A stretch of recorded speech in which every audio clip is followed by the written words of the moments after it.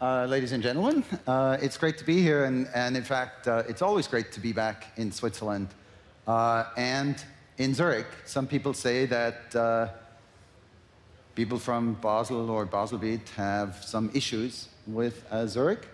but I'm going to ignore that because I like being back, and as you may know, I, I, studied in Zurich at ETH, and so it's always great, back, great to be back and, and meet old friends and of course, uh, visit uh, Google Switzerland.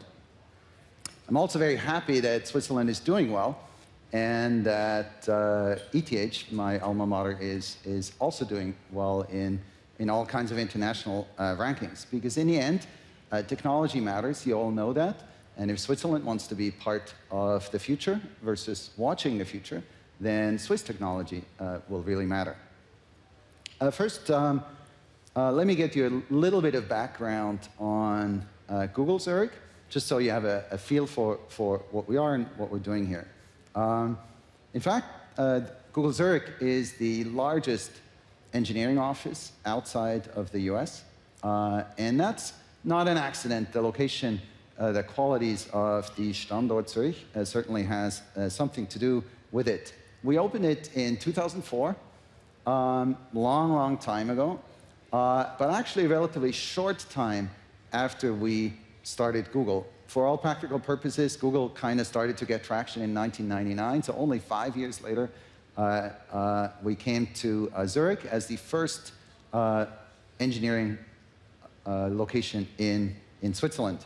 And back then, I really couldn't have imagined that today we are 2,000 people in that location, and, and we uh, just opened a new uh, uh, office in, or expanded into a new office in uh, Allee at, uh, near, near, the train station, which will uh, have room to accommodate up to 5,000 people. And that really is something that is almost unimaginable to me um, because back when we started this, the Zurich office, all of Google worldwide wasn't 5,000 employees. So it's really a, a, a, a, tremendous success. To me, in many ways, you know, not something that uh, I would have foreseen, uh, but something that obviously I'm, I'm, I'm very happy about. So, um, what do all those people do in Zurich? What drives uh, the Zooglers, as we call them, uh, Zurich Googlers? Well, our companies uh, motto is to organize the world's information and make it uh, useful and accessible. And so, really, everything that we do happens in that uh, umbrella. And in order to achieve this, we develop services that help people uh, deal with information, make their life uh, uh, simpler. And when we develop these services, we, we kind of follow three principles. First, um, we uh, try to find answers to problems that, that matter, that affect a lot of people, that will be useful to uh, a billion people, uh, ideally. Second, we focus on using technology to, to, to serve these answers, to create uh, these, these answers, these, these solutions to the problems. And then third, we really try hard to make our products accessible to everyone and so they, they can be useful to you whether you are in Switzerland or in the US or in Argentina or pretty much anywhere uh, on the world. So let's look at uh, web search as an example. Now, an ancient example, so 1999 we started with web search. And the goal was to find all the web pages on, on the web. And our first solution was effective but quite simple. There was a page with 10 blue links and pretty much nothing else. So you didn't have pictures or news or maps or the weather at your destination or whether the local store that you're looking up is still open or really nothing, right? No direct answers, just 10 blue links. Today, of course, in Google Search, you have all of these things. You can ask direct questions, you get a direct answer. And in fact, you don't have to type anymore. You can use speech. So in many ways, we've gone way beyond what our original goal was to find all the web pages on the web. So does that mean problem solved? No, no, not in a long way. Not really by a very, very long way. So our current development and our current status is really just the tip of the iceberg, if you want. Just the very beginning, and we could still do a lot more to make life easier uh, for people to make our products more useful and more accessible uh, to more people. And so today, I'll be talking about one way, and a way that really permeates many of the improvements that uh, uh you've seen in Google products in the last few years, and that you will see in the next few years. And that is machine learning. So, for example, just recently, our uh, voice recognition and also our translation between languages improved a lot, really just in the last uh, 12 months. And that was thanks to machine learning. And even though, again, even though it improved by a lot, it really is not at the asymptotic end. You know, I expect a lot more to come. We're just at the beginning. Take another example, the Google Assistant. So its goal is to make it easier for you to do the right thing at the right time. You, you can kind of have a conversation with it as if, you, as if you would have it with a real assistant, and it tries to you know, get things done for you. But imagine the following situation. You're, you know, you're, you're going home after, uh, you're driving home after uh, a day at work, and you tell your assistant, hey, I, I would like to have Indian for dinner tonight. And you know, while you're still driving, you get a confirmation when you're home, you know, the food is there and, and you have a great dinner. Right? Sounds really simple, sounds really natural, sounds like something that an assistant ought to be doing, and yet we're pretty far away from actually doing that. Because it's a very, very hard problem to understand what you really mean. Of course, we could go special case, this particular case and we say, hey, you know, if you say dinner and, you know, this like that, here's a special rule. But it then would be very brittle because as soon as you change a little bit what you're asking for, you know, it would be breaking down and it would no longer work. So finding a general solution to that, even though it's a very simple problem, is a very hard technical challenge. And in fact, often the hardest thing in technology is to make something simple. So uh, back to machine learning, as I said, you know, we're, we're, we're not done at all, and so we're investing heavily in these technologies. And I'll, I'll, walk you through a few examples to kind of show you the impact that machine learning is already having and, and the promise it has for, for, for the future. So take uh, Google Translate, I mentioned it already. We, our first version of Google Translate launched in 2000, uh, 2001, 15 years ago. Back then, we could translate eight languages to English and back. And the translation was, you know, not very good. Uh, today, Google Translate works in over 100 languages, covering 99% of the world's population. Right? That is a radical transformation. In fact, you don't have to give it text. You can scan an image, and it translates in real time you know, that image to your language. Right? These, this radical uh, progression is really, uh, uh, was enabled by machine learning, and many of these improvements came in just the last two years, and they're all based uh, uh, on machine learning. Or to give you another example, Google Photos, it, it helps you, it can analyze the photos that, you know, thousands of photos that you take during a vacation, and it can help you find the specific photo that you want you know, whatever, you know, there I was with, you know, on a horse, you know, on the beach. And you never told it that this picture is you on a horse uh, at the beach. It actually can find that uh, itself. And that is something that was really unthinkable, like literally unthinkable, technically, just five years ago. And today you have it in your pocket. And again, the difference is uh, computer vision enabled by the most modern forms of machine learning. Or to take a totally different example, Go. Go is probably the most complex board game that uh, has ever been invented.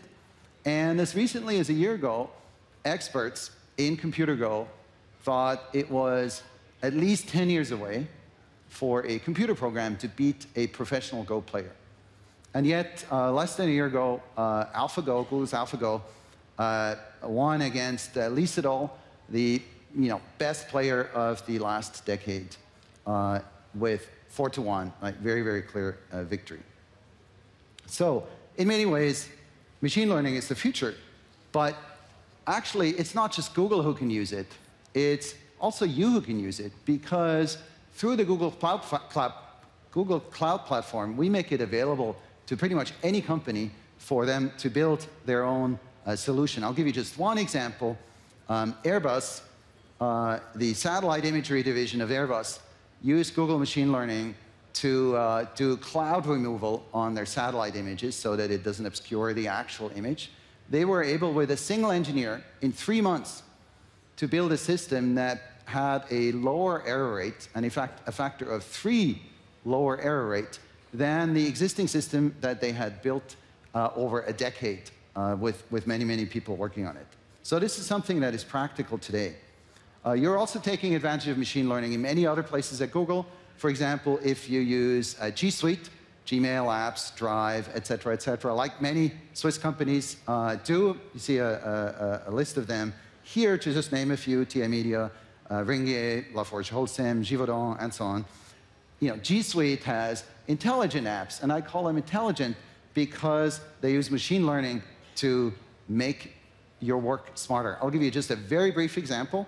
A year ago, we launched Explore in Google Sheets. Explore lets you, uh, lets you use your spreadsheet without understanding formulas. So you can ask questions, for example, how many units were sold on Black Friday, or what are the top three items by sales price, or what's the total cost of jackets last month, and it will find, it will construct the formula for you and find that answer. And as a very last example, I'll give you an example from medicine. Uh, di diabetic retinopathy is a, an eye disease that leads to blindness, but is very easily cured if you detect it early. And today, to detect it, an expert, a doctor, reads a photo like this, a retina scan, of your, of your image. But the problem is, in many parts of the world, there is no doctor that can do this reading, and therefore people turn blind. In connection with uh, doctors and, and uh, international health organizations, we developed a system that shows a lot of promise in being able to do that with machine learning. The early system actually reaches a similar accuracy than a panel of experts uh, using just a photograph. So there's a lot of work still to do, but I'm, uh, but I'm excited about the possibilities of improving healthcare for everyone uh, with machine learning. And to me, what's really amazing is that all of these things are done with an underlying system that is very, very similar.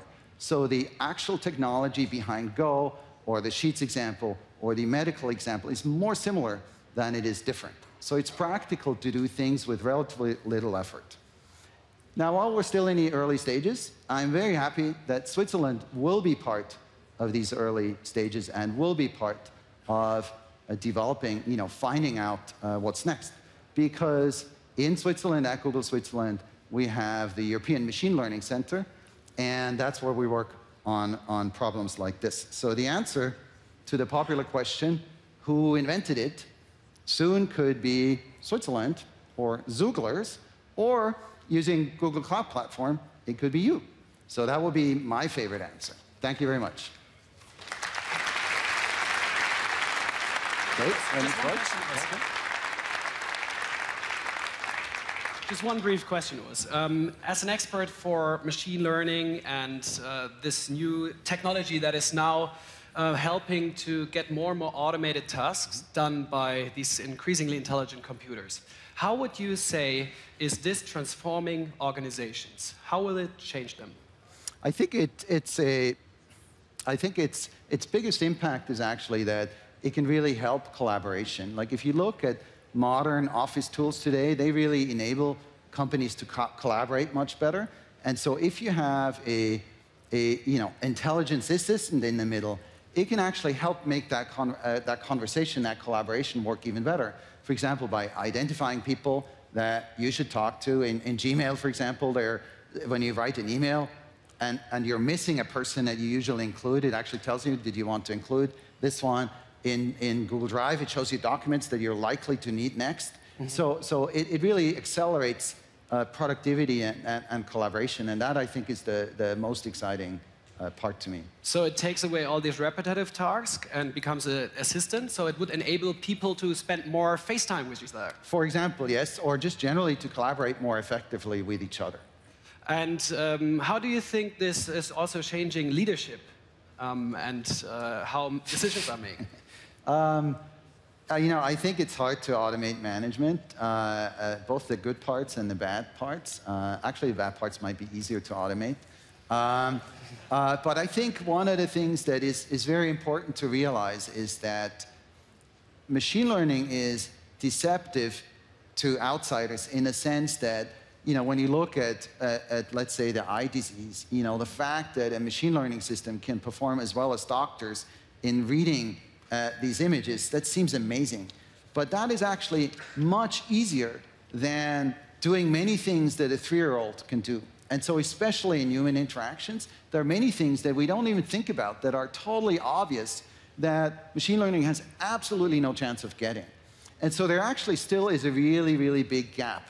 And so while it works very well for certain image analysis tasks or text analysis tasks, etc., in human communication and understanding human communication, that is actually something that is you know, incredibly hard and it's pretty far uh, mm-hmm. from now. And, and I think management and leadership is, has a lot to do with really people interactions, with motivation, with communication. I think ML might assist their machine learning, but I think it's, it's pretty hard for me to see, certainly in, in, in this decade, um, how you could, you could ever uh, uh, um, um, um replace something there.